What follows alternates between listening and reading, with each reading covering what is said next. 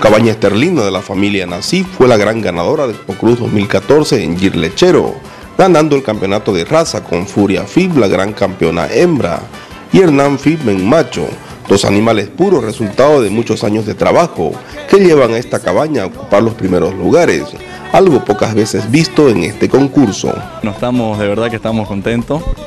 Este es un trabajo de 10 años que ya va dando su fruto. Ayer en el marco del juzgamiento de la raza ayer lechera obtuvimos un, innumerable logros. Entre los más destacados fuimos campeona mejor ubre vaca adulta, campeona mejor ubre vaca joven, campeona progenie de padre, campeona progenie de madre, campeón ternero, campeón torete menor, campeón torete mayor, campeón toro menor, bueno, y, campeona vaca adulta y lo más importante, el gran campeón y la gran campeona de raza ayer lechero, ¿no? que son los animales que están aquí a mi espalda.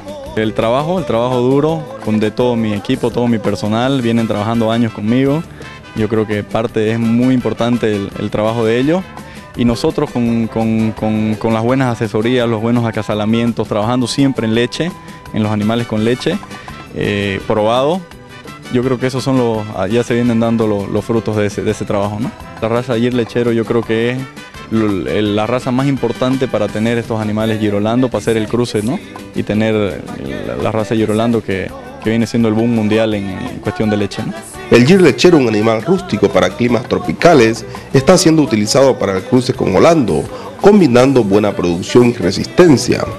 Julio Nasib, uno de los propietarios de Cabaña Esterlina, explica algunas características de esta raza índica.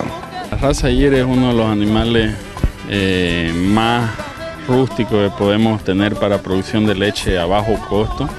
Es un animal que todo depende del trato que uno le dé, del manejo en sí que uno le dé. Si uno lo exige con un manejo adecuado, el GIR le va a retribuir eso, producción con mayor producción de leche pero si uno no le da un trato, le da un trato más suave, más bajo, también ella va a producir leche sin este, tener que invertir mucho en ella. Tenés que invertir muy mucho menos en productos eh, garrapaticidas y todo eso. Entonces una rusticidad que tiene el GIR muy fuerte.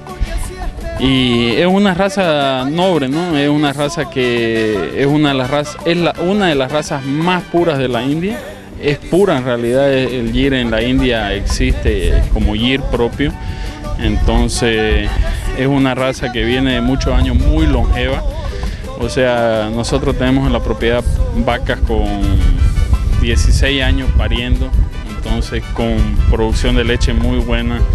Aquí podemos ver esta vaca está en su cuarto parto con esa calidad de ubre, con esa producción que tiene. Entonces son animales que sin, duda este, producen mucha leche a bajo costo.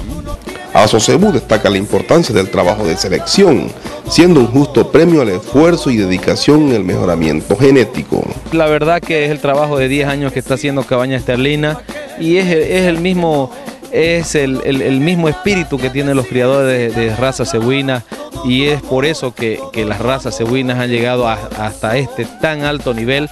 Cabaña Esterlina viene invirtiendo en genética eh, cebuina, sobre todo en la raza allí lechero hace 10 años y ese es el fruto, pues no, ellos están trabajando eh, con la más alta genética, eh, importando semen de reproductores eh, del mayor valor genético del Brasil.